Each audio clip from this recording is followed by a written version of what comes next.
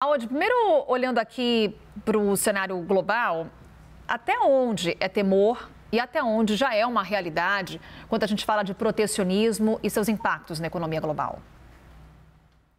Eu acho que nós temos alguns movimentos que chamam a atenção, sim. Né? O mundo todo ele viveu nas últimas quatro décadas, eu diria, um período de grande abertura comercial. Os países passaram a exportar, a importar mais.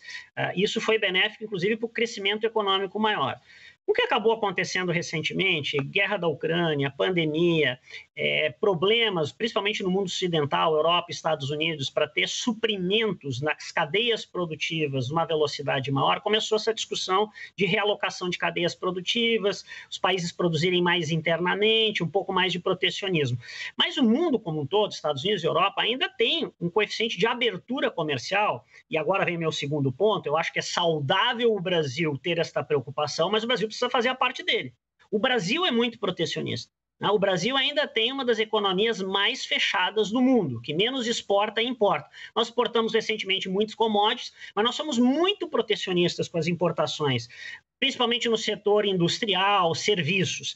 Então, eu acho que o Brasil é uma boa discussão para o Brasil fazer, mas o Brasil também precisa fazer a parte dele, precisa avançar em acordos com a Europa, tem toda a discussão de entrada do Brasil no OCDE o Brasil também precisa fazer uma parte para que ele tenha mais abertura comercial, importe mais, e aí eu acho que ele entra nessa discussão é, é mais robusta.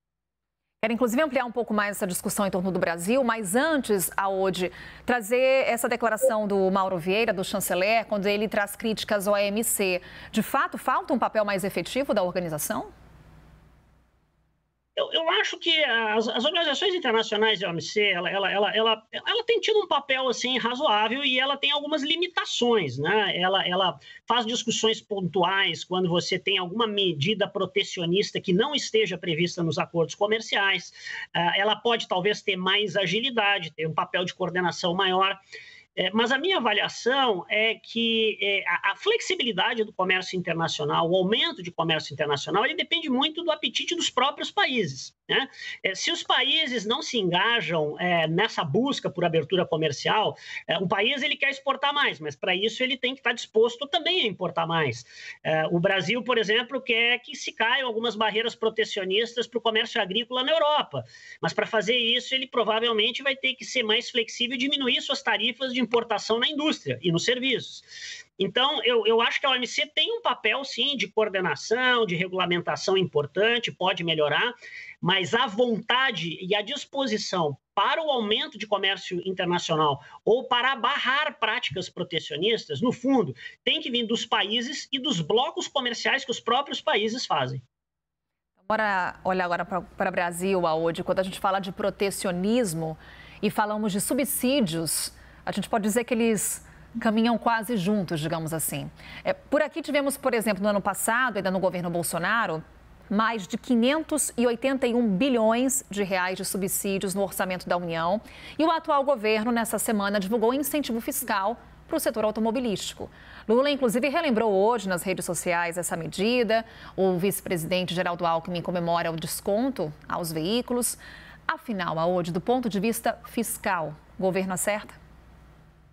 Eu acho que o Brasil precisa repensar sim o tamanho de subsídios fiscais que vem dando. O Brasil precisa fazer uma reforma tributária aonde tenha menos alíquotas, um sistema mais simples e onde segmentos iguais, é, indivíduos de mesmo nível de renda, todos paguem a mesma coisa. Aqui no Brasil a gente tem essa prática muito ruim de décadas, não é nem só desse do outro governo, é, de achar sempre brechas e, e, e, às vezes um segmento, um setor, uma empresa que tem maior capacidade de proximidade com o governo acaba ganhando mais subsídios e depois você não consegue tirar mais. E é muito subsídio. Isso não tem resolvido, não tem dado mais competitividade para a indústria nacional. Eu vou dar um número, né? O Brasil em 1900 1985, tinha, a indústria tinha uma participação de 33% no PIB nacional. É, é, 36%, é, perdão. Essa participação no ano passado ela caiu para 13%. Por quê? Porque nós estamos menos competitivos. Por que nós estamos menos competitivos? Porque a nossa a qualidade da educação não melhorou, o nossa, nossa infraestrutura, concessões, modelos de concessões, estradas, aeroportos avançou lentamente. Nós somos um país fechado, muito protecionista ainda, e nós precisamos persistir em reforma. Reforma tributária é um exemplo.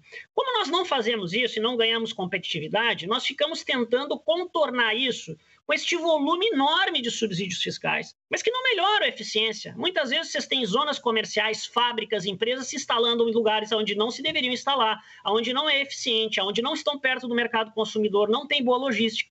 Então, eu acho que precisamos mudar este modelo baseado em incentivo, em subsídio fiscal, para o modelo onde nós fazemos reformas consistentemente para aumentar a produtividade da economia. É só isso que vai aumentar o investimento privado e, por exemplo, no caso da indústria, vai voltar a fazer ela ser uma indústria mais forte e mais competitiva.